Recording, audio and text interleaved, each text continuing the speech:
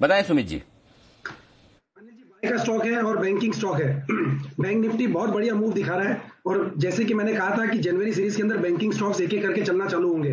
तो अभी जो स्टॉक मेरे रडार पे आया है, वो है फेडरल बैंक 83 का अभी भाव चल रहा है। पिछले 9 से 10 दिनों के हाई स्टॉक अभी ब्रेक कर रहा है। यानी एक गिरावट के बाद स्टॉक ने कंसोलिडेट किया और उस कंसोलिडेशन का अभी जस्ट ब्रेकआउट आ रहा है। तो फेडरल बैंक अगले हफ़्ते में, आज और अगले हफ़्ते में एक अच्छा परफॉर्मेंस दिखाना चाहिए। इसको यहाँ पे सीएमपी पे खरीदारी करें। नीचे के अंदर इसका सपोर्ट है अस्सी रुपए से लेके इक्यासी रुपए के आसपास। तो अस्सी रुपए का स्टॉप लॉस लगा के फेडरल बैंक में खरीदारी करनी है। ऊपर में जो टारगेट देखने को मिल सकते हैं, मेरे को लग रहा है फेडरल बैंक यहाँ से छियासी रुपए अट्ठासी रुपए।